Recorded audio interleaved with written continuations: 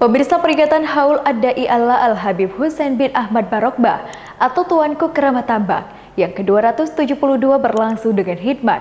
Haul ini juga menghadirkan penceramah dari Solo, yakni Al-Habib Muhammad bin Yahya Barokbah.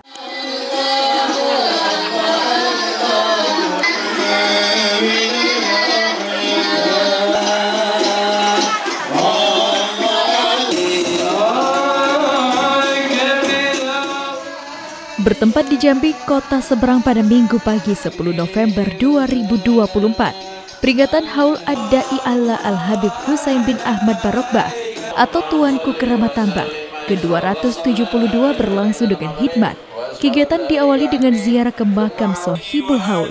Turut hadir dalam kesempatan ini staf ahli wali kota Jambi, dan Al-Habib Muhammad bin Yahya Barokbah penceramah dari Solo. Unsur Forkopimda, jajaran OPD Pemkot Jambi, Camat, Forkopimcam, alim ulama, habaib, dan tokoh masyarakat sekitar.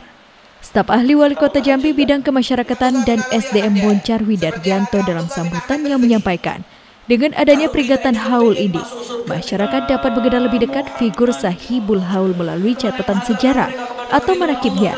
Dirinya juga berpesan agar masyarakat menciptakan tatanan masyarakat yang beriman, berilmu dan rasional, sebagai ciri dari bangsa yang religius dan berdaya saing tinggi. Arfani, Jambi TV